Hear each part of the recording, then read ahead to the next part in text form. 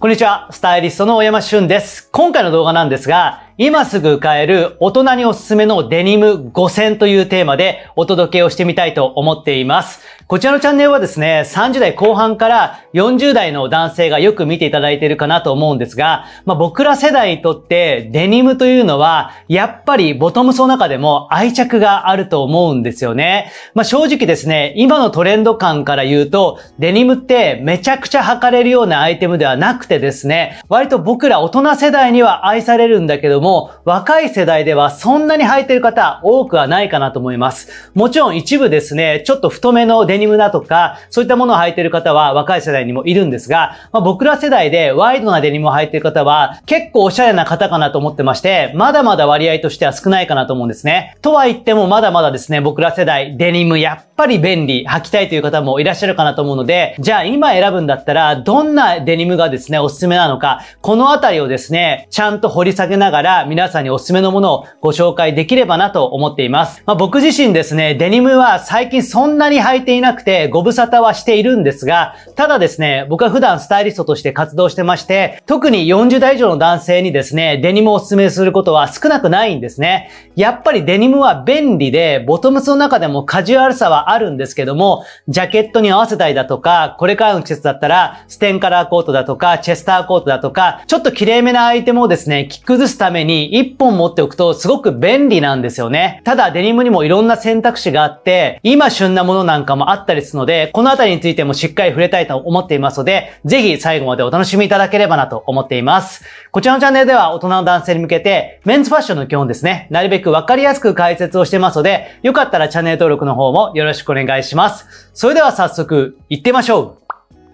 はい、ということで早速一つ目のですね、デニムからご紹介したいなと思ってるんですが、この YouTube のチャンネルでは初めてお伝えするブランドかなと思うんですけども、イカイというイタリアのブランドのロブストというですね、モデルのデニムになります。これはですね、最近ですね、よく見かけるようになってきたんですが、まだブランドとしてはそんなに古くなくて、2018年に立ち上がったブランドなんですね。もともとはですね、シビリアというデニムのブランドがありまして、こちらをですね、創業された方が、また新たに始められたブランドなんですね。まあ、シビリアというデニムブランド自体、僕自身も結構好きで、普段のスタイリングでかなり使ってきたようなデニムの鮮魚ブランドなんですね。まあ、結構細身のシルエットが特徴的で、個人的にもですね、大好きなブランドだったんですが、そちらとはまたちょっと雰囲気の違う、理解というブランドをですね、2018年に立ち上げられまして、このブランドがじわりじわりとですね、人気が高まってきているのが、まあ、ここ最近の流れかなと思っています。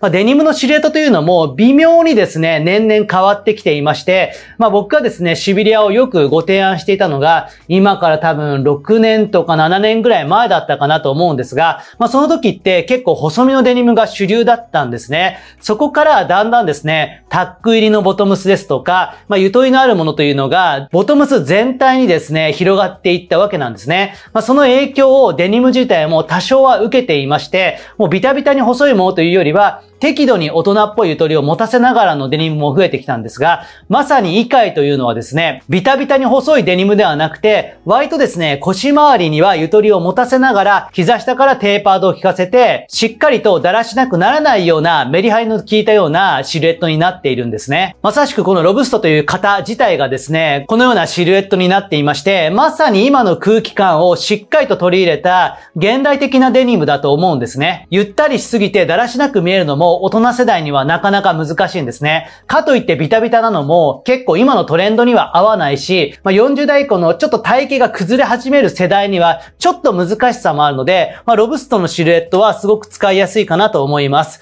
この異界はですね、僕はエディフィスで見かけることが多くて、先日もスタイリングの際にご提案させていただいたんですね。まさしくロブストをですね、ご提案させていただいたんですが、センタープレスが効いていて、ちょっとこうデニムスラックス調に見えるところも含めて、すごくバランスがいいなと思いました。まあ、カラー展開も豊富なんですが、ワンウォッシュ系のデニムもあれば、結構ブラックウォッシュデニムというところ、これがね、すごく良かったんですよ。デニムといえば、ブルー系の色味の印象が強いかなと思うんですが、これがこう、ブラックですとかグレー系になることで、すごくシャープでモダンな雰囲気になるんですが、そのあたりも含めて、すごくこのあたりのロブストのブラックウォッシュは、バランスが良かったなと思います。まあ、丈の長さはクッションをすごく強く出すというよりは、ノークッションでスッキリめに履いていただくと、すごくバランスがいいと思います。ジャケットにも合いますし、あとはニットなんかで合わせてもらうのもいいと思うので、これは1本あると便利かなと思います。価格はですね、ちょっと安くはないんですね。28,600円というところで、まあユニクロのデニムとかに比べるとびっくり価格で、なかなか手が出しづらいかなとは思うんですが、まあ、40代以降の大人の男性がしっかりとしたデニムを1本持っておくというのも、僕は結構おすすめかなと思います。まあユニクロも確かにいいんだけども、人との差別化だとか、自分の気分が上がるかどうかっていうのは、大人の服選びにおいてはすごく重要だったりもするので、まあちょっとユニクロデニムに飽きてきたなという方には、このあたりの理解すごくいいかなと思うので、ぜひチェックをしていただければなと思っています。はい、続いて二つ目のですね、デニムなんですが、レッドカード東京のですね、リズムというモデルですね。これもですね、まあ、動画の中で何度か出てきてるブランドかなと思いますし、僕自身もですね、愛用してるのがレッドカードというブランドです。個人的にも好きですし、スタイリングの際でも使ってるような、まあ、安心感のあるブランドなんですが、まあ、レッドカード自体はですね、2008年に創業ということで、まあ、歴史的にはそんなに長くはないんですが、僕の中ではですね、結構定番的な位置づけになってきてまして、割と価格帯の高いデニムの中ではですね、割とですね、手が出しやすい価格帯というところで、すごく安心感があるブランドかなと思います。だいたい2万円台前半で買えるんですね。2万2000円とか2万900円とかね、このあたりの価格帯になってくるので、決して安くはないんだけども、今回ご紹介するデニムの中では、まだですね、買いやすい価格帯かなと思います。レッドカードのデザイナーの方なんですが、デニム業界ではかなり有名な方で、エドウィンですとか、レッドカードで経験を積まれて、日本のジーンズ史を築き上げてきた一人と言われてるぐらいですね、かなり著名な方なんですね。その方が立ち上げたレッドカードというブランド自体は、すごくですね、こだわりが詰まっていて、僕自身も愛用してきたブランドなんですが、まあユニクロのデニムと比べて何が違うのかというと、やっぱ色落ちの加工ですね。このあたりが、やはり繊細ですし、ちゃんと濃淡が効いていて、奥行きを感じるというところですね。ユニクロンデニムもすごくよくできていまして、専門の研究機関なんかを作って、丁寧に仕上げられているんですが、やはりですね、価格帯が全然変わってくるというところもあり、職人さんの手作業でですね、色落ちをさせていくので、まあ深みがあるんですよね。表面的な色落ちというよりはですね、しっかりと深みがあって、まあ細部もですね、ちょっとダメージの加工がしてあったりですとか、まあこういった金具の使い方とかも含めて、しっかりとですね、ヴィンテージ感が表現されているのが、まあ、個人的に素晴らしい点かなと思っています。で、シルエットなんですけども、昔のヴィンテージのデニムというよりは、結構レッドカード、細身なんですね。ですので、結構体型によっては合わない方もいらっしゃるかなと思うんですが、痩せ型から普通体型の方であれば、しっかりと履いていただけるような、そんなデニムかなと思います。足がスッキリと綺麗に見えるという点では、かなりですね、信頼感があるブランドで、僕自身も結構小柄で痩せ型なので、デニムのシルエットとしては、なんかこう微妙にフィットしないなというものが多かったりするんですが、レッドカードはもうバチッとシルエットが体に合うんですね。まあそういった点では万人向けのシルエットではないんですが、痩せ方からですね、普通体型の方にはハマりやすいようなデニムかなというふうに思っています。まあ僕の中ではレッドカードというと一番最初に見たのはトゥモローランドだったんですね。まあ常にトゥモローランドに行けばしっかりとレッドカードの在庫が揃っていますので、まあこちらで見ていただくか、あとは結構いろんなとこで別注をやっていまして、シップスだとか、ビームスとかでも扱いがあったりするので、まあ、そのあたりの身近なセレクトショップでも置いてあるというところも含めて、ぜひ皆さん、レッドカードのデニムですね、2万円前半で買えるというところでは、加工の雰囲気がすごく特徴があって、素晴らしいブランドかなと思うので、チェックをしていただきたいなと思っています。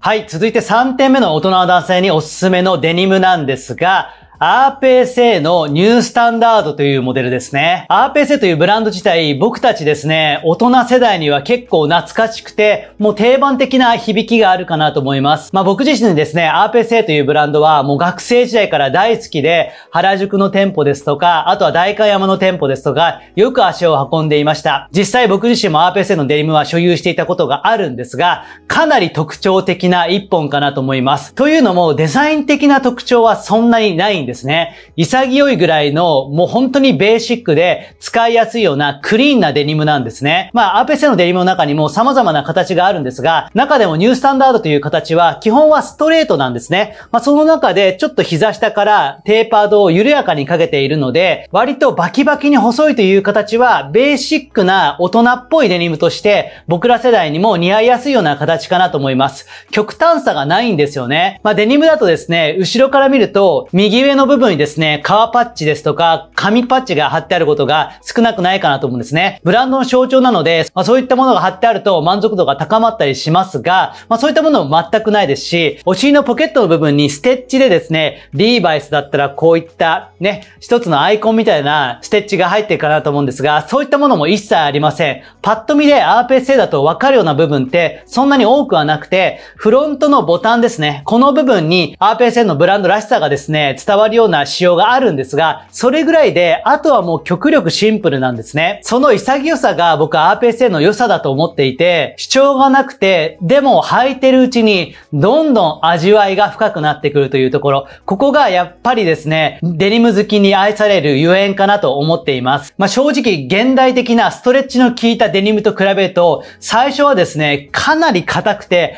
履きやすいとはお世辞にも言えないのが RPSA のデニムなんですね。それでも頑張って何回も履き続けると、徐々に自分の足にフィットしてきて、体の癖を覚えて、少しずつ柔らかくなってくるので、その変化というところを楽しむというのが、まあ RPSA のデニムの一つのですね、楽しみ方なのかなと思います。そういった意味では癖のある一本ではあるんですが、だからこそこのデニムの楽しさというところ、皆さんにも実感していただけるのかなと思います。もう育てるデニムというのにふさわしいのが RPSA のデニムかなと思ってまして、これ育て方も人それぞれなんですね。もう洗わないという人もいますし、あとはどうしても洗いたい時にはもう本当に手洗いでなるべく色が落ちないように丁寧に洗うという方もいます。中でも強者の方は RPSA のデニムを履いたままですね、海に飛び込むという感じですね。そんな方もいらっしゃるぐらいですね、マニアックなファンの方はいらっしゃるんですね。もう乾いた砂で擦ることでまあ、色落ちを楽しむみたいなね、そういった方もいらっしゃるぐらいですね、マニアックなファンもいるぐらい、RPS のデニムというのは、懐の広さを持っているような、そんなデニムかなと思っています。まあ、僕自身もですね、かつて RPS のデニム履いていまして、結構ギリギリまで粘って、硬いものを履き続けて、お風呂に履いたまま入ったりだとか、結構ハードにですね、育てていたんですが、久々にですね、そういったちょっと通なデニムの楽しみ方もしてみたいなというふうに思っているぐらいですね、RPS のデニムのですね、深い哲学というところは、たまに恋しくなることもあるんですね。デニムの素材自体は日本の貝原社ですね、こちらのものを使っていまして、まあ、独自にですね、協業しながら作っているファブリックで、この品質の高さにもですね、デニム好きの方は惹かれる部分も多いのかなと思っています。決して履きやすいデニムではないですが、まあ、40歳を超えて改めてデニムと向き合うという意味ではですね、すごくおすすめのブランドかなと思うので、ぜひ RPSN のデニムもですね、チェックをしていただければなと思っています。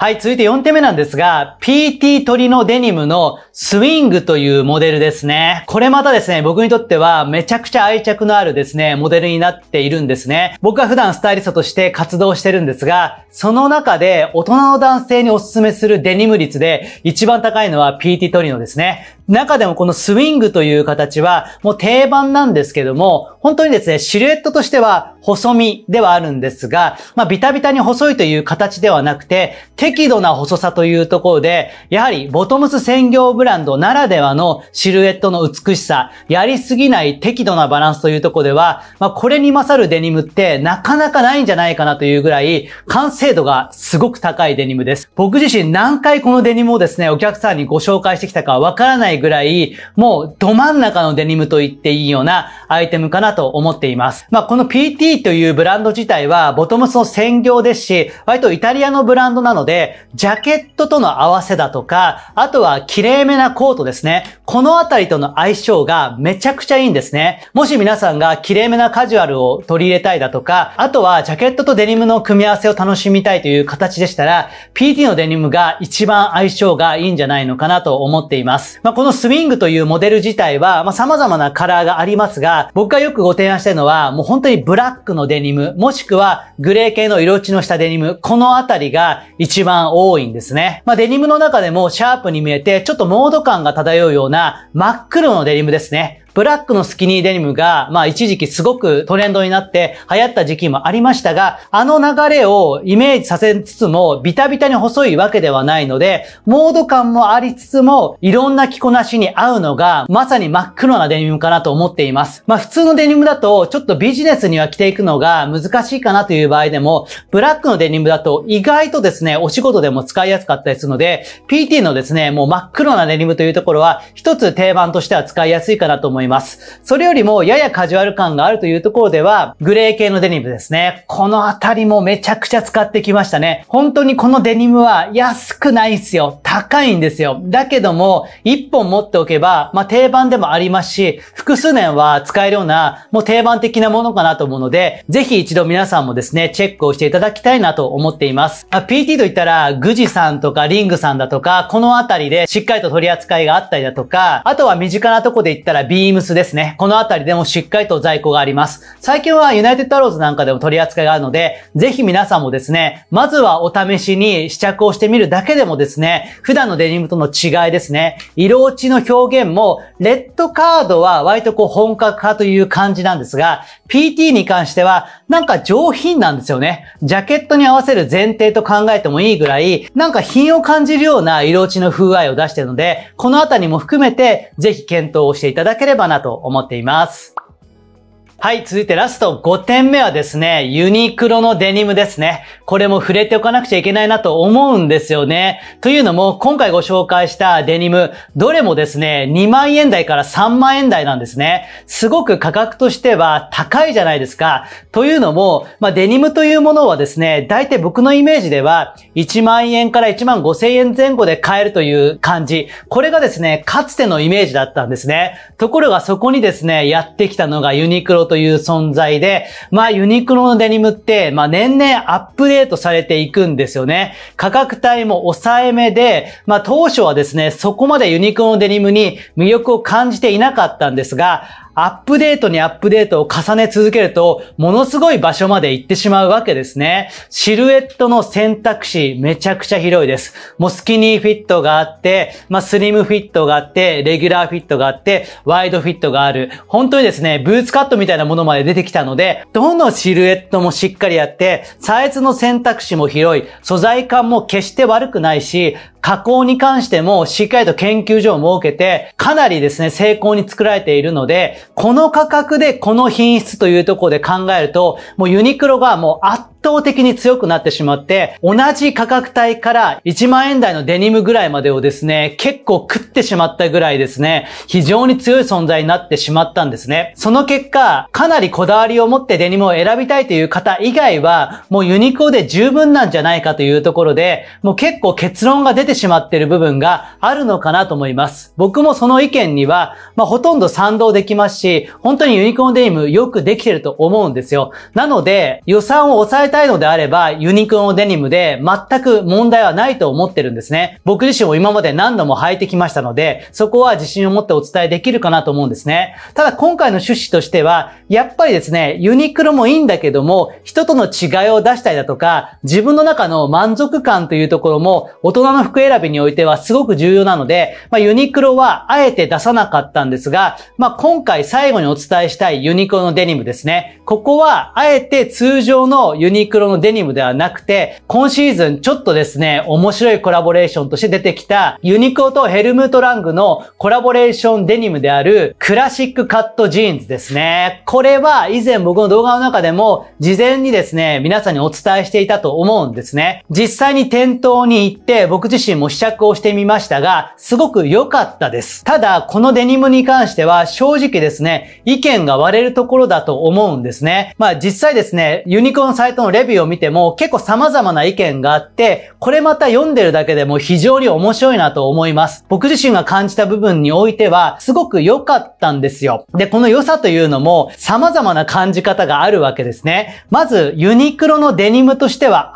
明らかに高いじゃないですか。2倍近い価格がするので、ちょっとその部分にはうっとくる部分もあるんですよ。ただ、一方で、ヘルムート・ラングのデニムが、この1万円弱で買えるというですね、意外性というところは確かにあるんですね。そして、今ですね、1万円台のデニムも様々なブランドありますが、デニムのクオリティですとか、シルエットですとか、あとはヘルムート・ラングのですね、デニムを一つのベースとして作られているという特別感、こういったところを考えれば、決して高い価格帯ではないというのも事実なんですね。で、シルエットとしてはいわゆるレギュラーフィットで、そんなに特徴的なものではないかなと思うんですね。いわゆるスキニーだとかテーパード型の細身の感じだとメリハリが効いて分かりやすい美しさがあると思いますし、ワイドフィットのデニムであれば今っぽいトレンド感も感じられるので、それはそれで特徴的だと思うんですよ。その二つに属さないような、いわゆるレギュラーフィットで、決して派手さはないんだけども、履きこなせたらすごく美しく見えるというのが、まさしくこちらのデニムなのかなと思っています。で、僕はですね、ステッチだとかボタンだとかそういったものがデニムの本体と色を合わせてあったりだとか、こういった小さな積み重ねの部分はすごく素敵だなと思ってまして、